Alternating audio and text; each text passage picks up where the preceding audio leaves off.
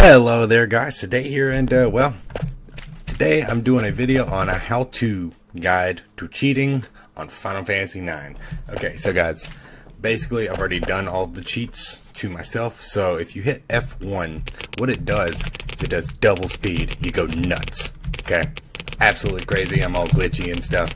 Alright, so the cool thing is, is that um, and found in on F2, you have full ATB trance. Now, I'm not at the point where you see trance, but that's what it does.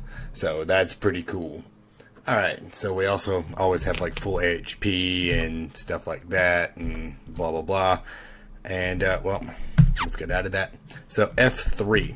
What F3 does is it guarantees you 9,999 damage every single time. I'll show you guys. It will be glorious.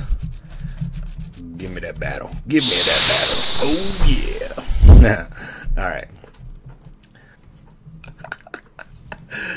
All right. Hopefully it'll be quick. Okay, it is.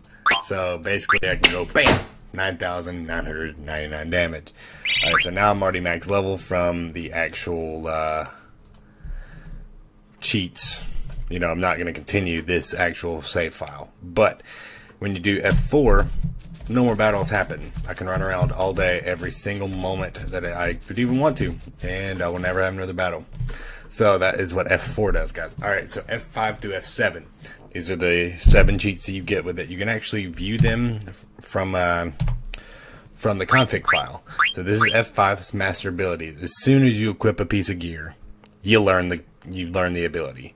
So if you're into that, great. This one is to give you max level. So pretty much gives you max level, perfect, and then uh, Gil maxed out, right? So note that these can only be activated once.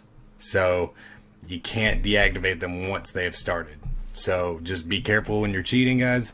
And uh, well, thanks for uh, watching the video. If you like it, please give me a like. You want to hit that lovely little subscribe button, please do so. And you guys are awesome, and I'll see you guys soon. Bye-bye.